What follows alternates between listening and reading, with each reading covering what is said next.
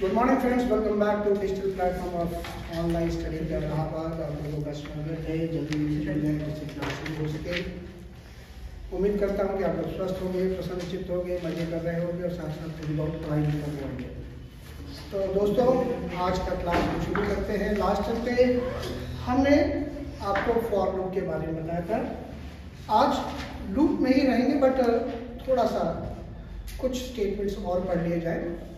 पहला स्टेटमेंट जो हम आज डिस्कस करेंगे वो है ब्रेक स्टेटमेंट देखिए ब्रेक स्टेटमेंट आपने पहले भी यूज़ किया हुआ है। याद है कहाँ किया है? कहाँ? नहीं। स्विच केस में। याद करिए। हर केस में हम लोग लास्ट में ब्रेक लगाते थे। याद आ रहा है? और ब्रेक का काम क्या था? स्विच के बाहर भेज देना। कहाँ भेजता था? तो यहाँ पे भी ब्रेक स्टेटमेंट का पर्पज वही है कि आपको अगर आपने लूप के अंदर लिखा है ब्रेक तो वो लूप से बाहर भेज देगा। क्लियर ध्यान से सुनिए। ब्रेक स्टेटमेंट का इस्तेमाल हम लोग या तो स्विच केस में करते हैं, या फिर लूप्स में करते हैं, या फिर लूप्स में करते हैं। और इसका काम क्या होता है? कंट्रोल को स्विच केस से बाहर, अगर स्विच केस में लिखा है तो या फिर लूप से बाहर।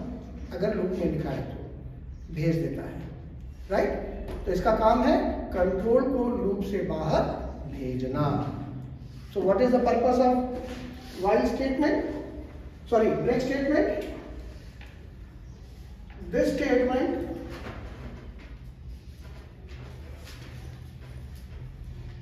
used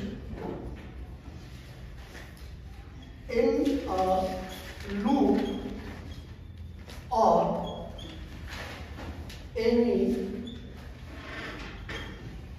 switch case statement ये स्टेटमेंट कहाँ यूज़ किया जाता है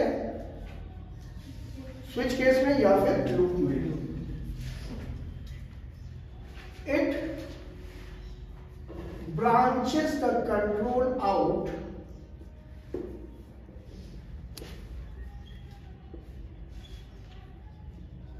of loop or switch statement या के कंट्रोल को लूप स्टेटमेंट के बाहर भेज देता है, या फिर स्विच स्टेटमेंट के बाहर भेज देता है। ठीक है? इसका काम है कंट्रोल को बाहर भेजना। कहा? लूप से बाहर या फिर स्विच केस से बाहर। राइट ये इसका मुख्य काम है। अगर आपको लूप से बाहर भेजना है तो हम ब्रेक स्टेटमेंट का इस्तेमाल करेंगे। याद करिए, कल हमने एक प्रोग्राम किया था। वाई सॉरी प्राइम नंबर वाला। याद आ रहा है? प्राइम नंबर में हमने क्या किया था? वहाँ पे दूसरी लॉजिक यूज़ की थी, जहाँ पे हम काउंट कर रहे थे कि कितने फैक्टर्स हैं। कितने फैक्टर्स हैं। और उसमें हम फैक्टर काउंट करने के लिए हम नंबर को वन से डिवाइड करना शुरू कर रहे थे। और एन तक जा रहे थे। अगर एन तक केवल दो ही नंबर उसके फैक्टर मिल रहे हैं तो हम कहते थे, क्या है? वो प्राइम है। अगर दो से अधिक है तो प्राइम नहीं है। अगर दूसरी भाषा में कहें, एक दूसरा लॉजिक डिस्कस कर रहे हैं। अगर हमारा नंबर वन या खुद के अलावा किसी अन्य से डिविजिबल है वन या खुद के अलावा किसी अन्य नंबर से डिविजिबल है तो वो प्राइम नहीं है। जैसे सिक्स सिक्स को वन से डिवाइड करेंगे तो होना ही होना है। वन और खुद से डिवाइड होगा ही होगा। अब जरा टू से डिवाइड करो। हो रहा है ना? पता लग गया कि ये प्राइम नहीं है। तो हमें लास्ट तक जाने की आवश्यकता नहीं राइट जैसे ही पहला नंबर से हम डिवाइड करके देखें, जहाँ पर वो डिविजिबल है, वहीं से हम डिस्कस कर लेंगे कि वो प्राइम नहीं है। अगर प्राइम अगर डिविजिबल नहीं है तो फिर आगे चेक करेंगे अगर पता लग गया कि ये डिविजिबल है तो आगे चेक करने की आवश्यकता नहीं इस वाले लॉजिक से हम लोग आज प्रोग्राम लिखते हैं। क्वेश्चन क्या है? राइट द प्रोग्राम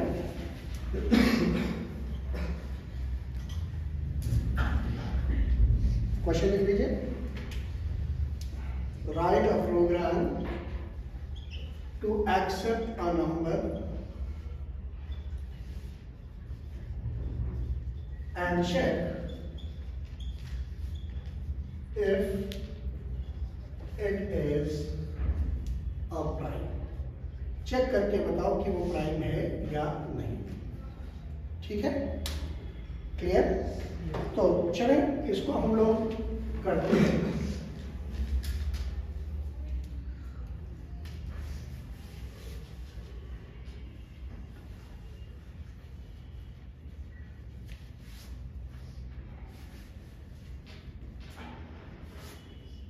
हमने नंबर इनपुट कराने के लिए ले लिया है एन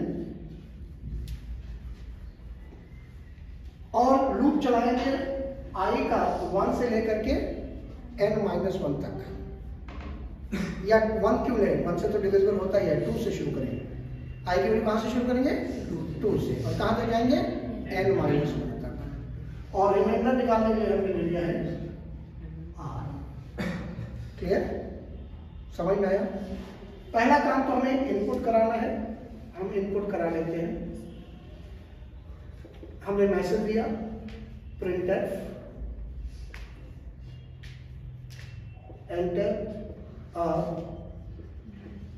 नंबर और इनपुट कराने के लिए चलो। सो यहाँ पे क्या करेंगे? हमने देखे रिकॉर्डिंग शुरू। यहाँ पे देखिए, हमने क्या किया? अगर नंबर डिविजिबल है तो रिमाइंडर ज़ीरो आएगा। रिमाइंडर ज़ीरो तो क्या कर दिया? ब्रेक मतलब ग्रुप से बाहर चले जाओ। आगे चेक करने की आवश्यकता नहीं है, क्योंकि यही पता लगे कि प्राइम नहीं है। अच्छा अब देखिए ग्रुप से बाहर या तो ब्रेक की वजह से आएगा, या आई की वैल्यू एन हो जाएगी, तब बाहर आएगा। ध्यान से देखो। ग्रुप से बाहर कब आएगा? या तो आई की वैल्यू एन हो गई है, तब बाहर आएगा। या फिर ब्रेक से बाहर आएगा यानी कि एन से छोटा है तब बाहर आएगा तो अगर एन हो गया मतलब वो प्राइम है, अगर एन के बराबर नहीं है आई तो मतलब वो प्राइम नहीं है। तो यही चेक कर लो। If i is equal to n मतलब यहाँ से बाहर आया। तो क्या लिखो? Print percent d is a prime otherwise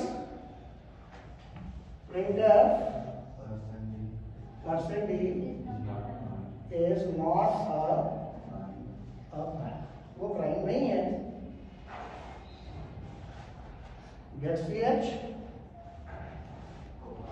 और प्रोग्राम समझ में आया? अब जरा सा हमें डेटा दे करके चेक करें कि वो प्राइम है या नहीं।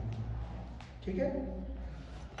सपोज़ हमने जो डेटा सेलेक्ट किया है वो सिलेक्ट किया है से 18 18 तो ये हमारा एन है ये हमारा आई है ये हमारा आर शुरू में सभी गार्बेज है। यहाँ आया आई की वैल्यू हो गई टू और आपने एन की वैल्यू क्या डाली है? अट्ठारह ठीक ना? आपको चेक करना है कि 18 प्राइम है या नहीं। क्या आई एन से छोटा है? टू एल से छोटा है? हाँ है। लूप के अंदर आया। यहाँ क्या लिखा है? आर बराबर एन मॉडलो आई आर बराबर एन को यानी अठारह को दूसरे भाग दो रिमाइंडर क्या आएगा? ज़ीरो तो आर हो गया ज़ीरो क्या आर ज़ीरो है? हाँ ज़ीरो है। ब्रेक बाहर आया बाहर क्या लिखा है? क्या आई एन के बराबर है? नहीं। है। तो एल्स में जाएगा। यहाँ पे क्या लिखा है? परसेंटेज यानी कि एन एन यानी अठारह इज़ नॉट अ सही आया? सपोज़ हमने डाला अब की बार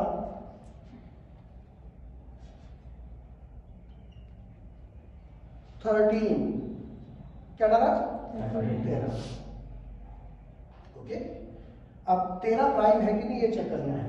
यहाँ पे आई वैल्यू हो गई टू क्या आई एन से छोटा है? हाँ। है। तो आर बराबर थर्टीन मॉडलो आई तेरह को दो से भाग देंगे रिमाइंडर क्या आएगा? वन वेरी गुड तो आर हो गया हमारा वन क्या आर ज़ीरो है? नहीं। यहाँ जाएगा आई प्लस प्लस आई हो गया थ्री क्या अभी भी आई एन से छोटा है? हाँ. आर बराबर एन मॉडलो आई तेरह को तीन से भाग देंगे. अगेन रिमाइंडर वन ही रहेगा. ठीक है ना? क्या आर ज़ीरो है? नहीं. आई प्लस प्लस आई हो गया फोर अभी भी कंडीशन ट्रू है? क्या? आर बराबर थर्टीन मॉडलो फोर तेरह को चार से भाग देंगे रिमाइंडर क्या आएगा? अगेन वन है ना?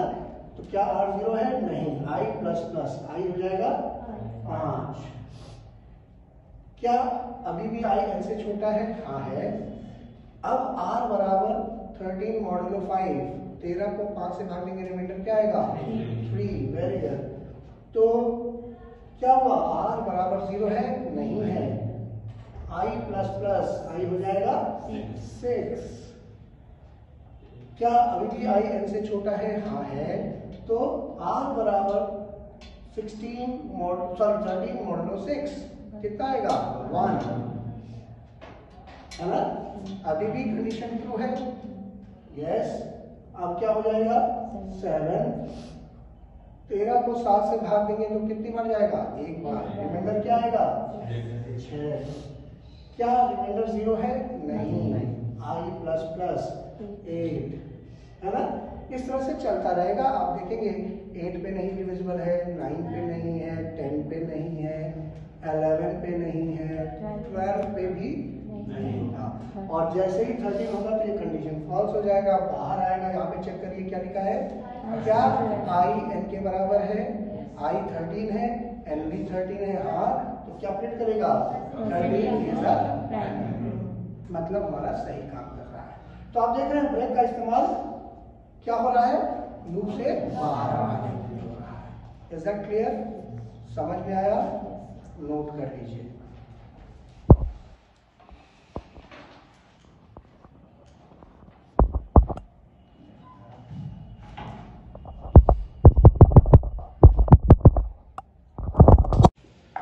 तो चलिए, अगले स्टेटमेंट की ओर हम लोग चलते हैं।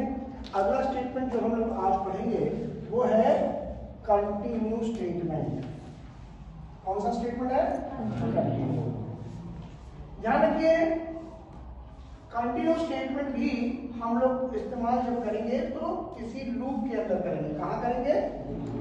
लूप के अंदर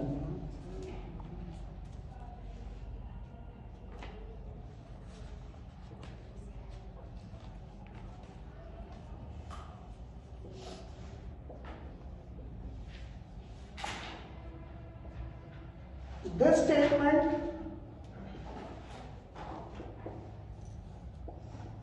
is also used in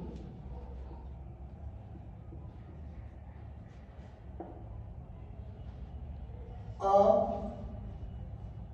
loop. इस स्टेटमेंट का भी इस्तेमाल हम कहा करते हैं? लूप के अंदर करते हैं। अब देखिए ब्रेक का भी इस्तेमाल हम लोग लूप के अंदर करते थे। उसका काम क्या था? कंट्रोल को लूप से बाहर भेज देता था। बट कंटिन्यू का काम क्या है? वो जहाँ पे कंटिन्यू है वहाँ से लूप के स्टार्टिंग में भेज देगा। दोबारा कहा भेज देगा? लूप के स्टार्टिंग में भेज देगा। This statement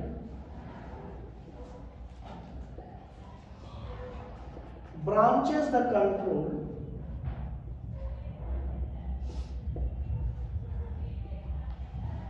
to the beginning of the loop.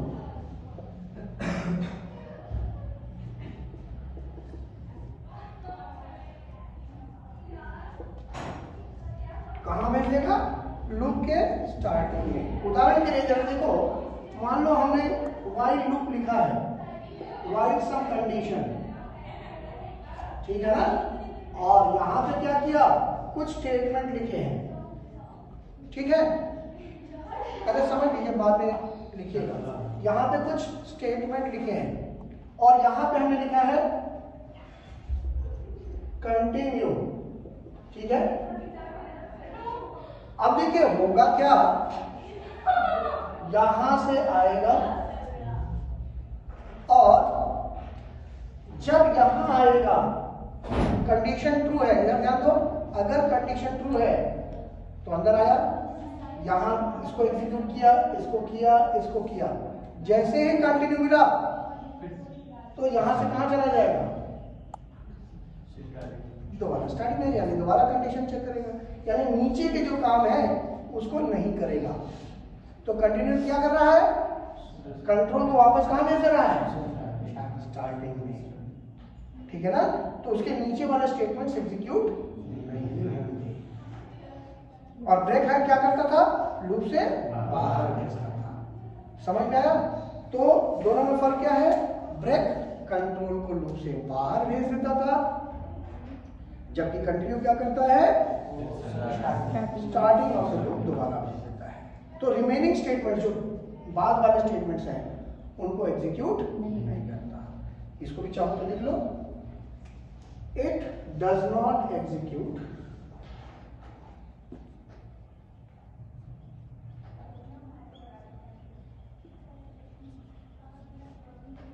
the following statements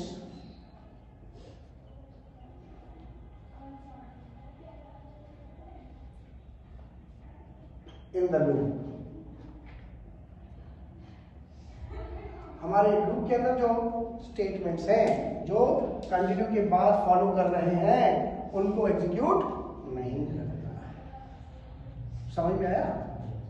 तो जहाँ कहीं भी आप चाहते हैं कि अगले डेटा सेट फिर से कंटिन्यू हो जाए, आगे का ये सब ना करे तो वहाँ पे आप क्या यूज़ करो कंटिन्यू जहाँ पे आप जाते हैं अब लूप आगे एग्जीक्यूट ना करें, वहाँ पे क्या यूज़ करो इज़ दैट क्लियर समझ में आया?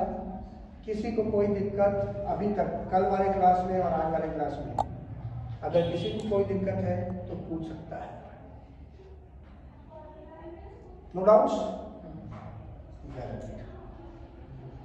तो चलिए, हम लोग फिर आगे बढ़ते हैं। नोट कर लिया? तो चलिए दोस्तों थोड़ा सा और आगे बढ़ते हैं। लूप में ही रहेंगे, लूप का ही काम आज करेंगे। हमने एक क्वेश्चन वाइड में आपको कराया था। कौन सा? फैक्टोरियल वाला, याद आ रहा है? फैक्टोरियल क्या होता है? किसी भी नंबर का फैक्टोरियल क्या होता है? उस नंबर से लेकर के वन तक सभी नंबर का गुणनफल। दैट इज़ योर फैक्टोरियल उसी प्रोग्राम को हम लोग करने की कोशिश करते हैं किससे? फॉर लूप से।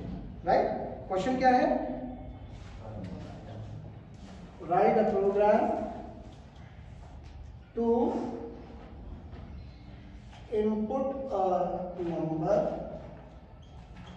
and find the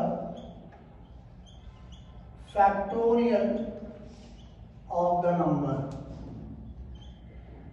ठीक है एक नंबर इनपुट कराओ और उसका क्या निकालो फैक्टोरियल निकालो ठीक है? तो अगर हमारा नंबर n है तो n का फैक्टोरियल कैसे निकालते हैं? n फैक्टोरियल बराबर n गुणे n माइनस वन गुणे n माइनस टू ये कब तक चलता रहेगा? वन तक। जब तक n घटते घटते वन ना हो जाए। ठीक है ना? इसको करते हैं। तो या फिर हम ऐसा करें वन से लेकर एन तक सभी नंबर को क्या करें?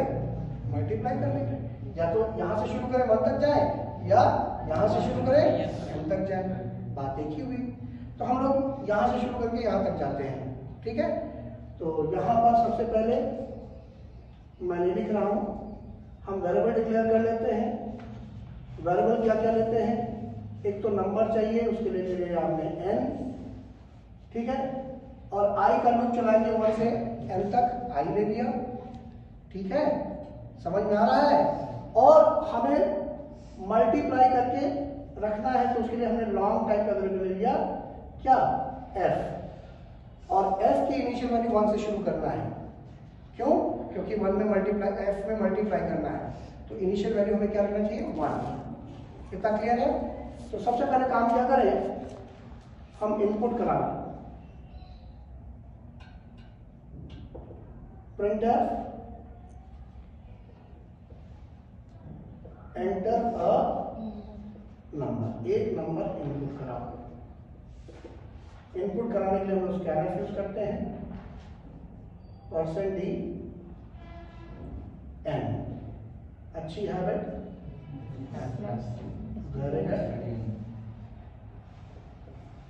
आगे की बात करते हैं। लूप चलाते हैं। For i equals to one से शुरू कर रहे हैं। और यहाँ पे एफ़ को भी इनिशियलाइज करना है तो कामा लगा के एफ़ को भी हमने क्या कर दिया? वन से इनिशियलाइज कर दिया। और कब तक लूप चलेगा? जब तक आई की वैल्यू एन से छोटी या बराबर है। आई को हर बार क्या करना है? बढ़ाना है। और इसके अंदर हम क्या कर रहे हैं? एफ़ में आई को मल्टीप्लाई कर दे रहे हैं। एफ़ बराबर एफ़ मल्टीप्लाई बाई आई खत्म। अब लूप से बाहर जब आएगा तो हमें क्या करना रहेगा? एफ़ को प्रिंट करना रहेगा। तो क्या प्रिंट कर दें printf factorial of percent d is percent l d यहाँ पे एल की वैल्यू आनी चाहिए और यहाँ पे एफ़ की वैल्यू आनी चाहिए। काम खत्म?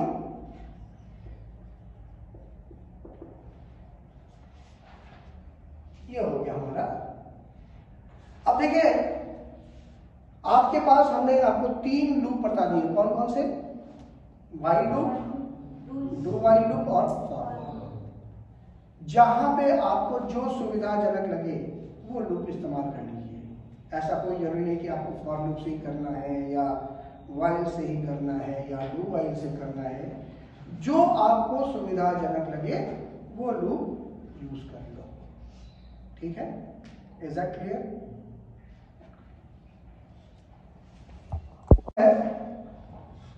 to find the GCD of number GCD मतलब जो समझते हो ग्रेटेस्ट कॉमन डिवाइजर जिसे हम लोग हाईएस्ट कॉमन फैक्टर भी कहते हैं एच या जीसीडी तो इससे पहले कि हम इसका प्रोग्राम समझें, पहले तो हमें पता होना चाहिए जीसीडी निकालते कैसे हैं, है ना? तो पहले हम आपको गणित पढ़ाएँगे फिर उसके बाद कंप्यूटर पे प्रोग्राम लिखवाएँगे चलिए। अगर आपको दो नंबर दिया हो, उस दो नंबर का आपको निकालना हो क्या? G C D greatest common divisor या एच सी एफ़ तो कैसे निकालते हैं? कोई भी दो नंबर बोलो। 23 23 एंड 64 n1 हमारा है 23 n2 है 64 इसका हमें निकालना है G C D greatest common तो निकालने का जो तरीका होता है कई तरीके हैं जो हम तरीका आपसे डिस्कस कर रहे हैं वो उसको कहते हैं लॉन्ग डिवीज़न मेथड क्या बोलते हैं? लॉन्ग डिवीज़न मेथड इस मेथड में हम लोग करते क्या है? N1 को n2 से भाग देंगे। पहले n1 को n2 से भाग देंगे। तो n1 क्या है? 23 किससे भाग देंगे? कितनी दफ़ा जाएगा? ज़ीरो छोटा है। तो रिमाइंडर क्या बचा? कौन बोला ज़ीरो मेरी वजह ठीक है तो रिमाइंडर क्या आया? अब की बात ये मेरा L1 था और ये मेरा N2 था। अब की बार इसको बना दो एन टू और इसको बना दो एन वन यानी कि 64 को भाग दो ये मेरा एन वन हो गया। इसको रिमाइंडर बना दिया एन टू तो कैसे बनाएँगे? एन वन बराबर N2 और एन टू बराबर R. ऐसे तो बनेगा। अब इसको भाग दो कितने बार जाएगा? दो बार। फोर्टी सिक्स रिमाइंडर क्या आएगा देखो अठारह। सही है ना? ये प्रोसेस तब तक रिपीट करते रहो जब तक कि रिमाइंडर ज़ीरो ना आ जाए। जब तक कि हाँ अब देखो भाग दो। ये हो जाएगा हमारा एन वन टू और ये बन जाएगा एन वन करिए। अठारह, बचा कितना? रिमाइंडर ज़ीरो नहीं हुआ तो अब अठारह यहाँ ले आओ। तीन बार। रिमाइंडर। पाँच में लाओ। एक बार। एक बार और डिवाइड करो। दो को भाग दो। रिमाइंडर ज़ीरो आ गया। तो ये रिमाइंडर जब ज़ीरो आया तो किससे भाग दिया था रिमाइंडर ज़ीरो आया? तो वन ही इसका जीसीडी है। इसका जीसीडी क्या हो जाएगा? समझ में आया? एक और एग्जांपल देंगे ज़्यादा समझ में आएगा। जीसीडी निकालना समझ में आ गया कि नहीं? अब की बात दूसरा नंबर ले लो। हाँ आर्यन बोलो कौन सा नंबर लें की बात nine six nine nine six? Nine four. Ninety six and ninety four. चलो। यही बोला ना? ठीक है कोई दिक्कत नहीं। तो एन वन को एन टू से भाग दो। नाइन्टी सिक्स को नाइन्टी फोर से भाग दो। एक बार जाएगा। बचेगा कितना? दो। ठीक ना? अब इसको इससे भाग दो। 94 डिवाइडेड बाय 2 कितने बार जाएगा? फोर्टी 40 सेवन सेवन रिमाइंडर किससे भाग में रिमाइंडर आया? तो इसका जीसीडी क्या हो गया? ठीक? समझ में आया? तो ये हमारा जीसीडी निकालने का तरीका हुआ। कर क्या रहे हैं? While r is not equals to zero जब तक आर रिमाइंडर ज़ीरो नहीं है क्या कर रहे हैं? रिमाइंडर बराबर n one modulo n two n2 ठीक है ना? और उसके बाद एन वन में डाल दे रहे हैं एन टू और एन टू में डाल दे रहे हैं आर यही तो करना है। यही हमारा लॉजिक है। यही हमारा लॉजिक है। चलिए, इसको प्रोग्राम में रिप्रेजेंट किया जाए। क्वेश्चन है accept two numbers and find the GCD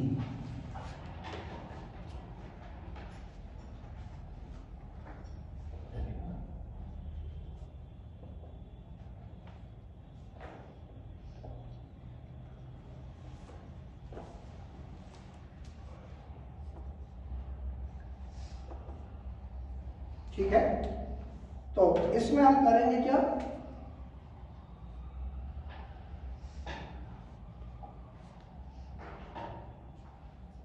हमको दो नंबर लेना है तो उसके लिए हमने दो वेरिएबल ले लिया है I N T n one n two ठीक है ना? और रिमाइंडर भी निकाला है तो रिमाइंडर के लिए हमने ले लिया है आर और शुरू में रिमाइंडर की वैल्यू हमने वन डाल दी। क्यों? क्योंकि हम कंडीशन चेक करें जब तक रिमाइंडर ज़ीरो ना आ जाए। तो शुरू में रिमाइंडर क्या रखा हमने? हमने वन लिया, कुछ भी ले लो बट ज़ीरो ना लो। ठीक है ना? अब यहाँ पे पहला काम तो हम ये करें इनपुट करा लें। printer enter two numbers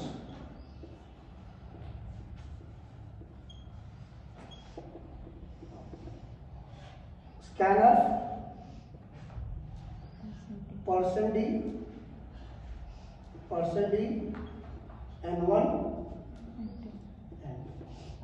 अच्छी हैबिट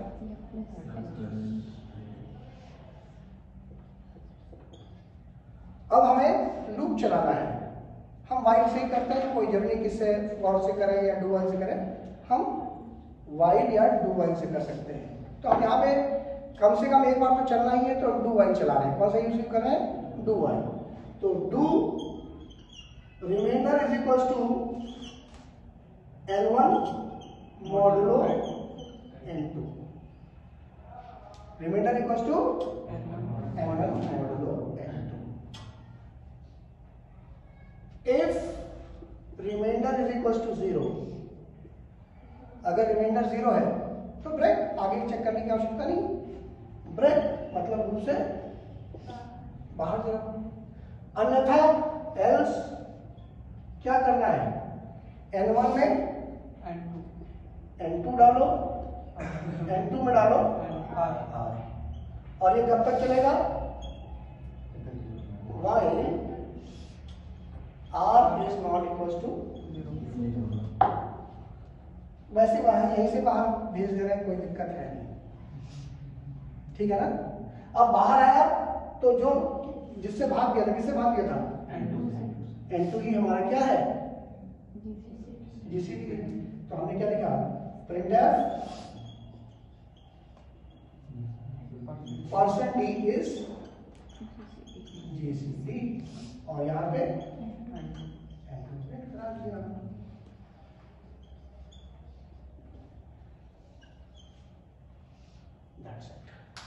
समझ में आया?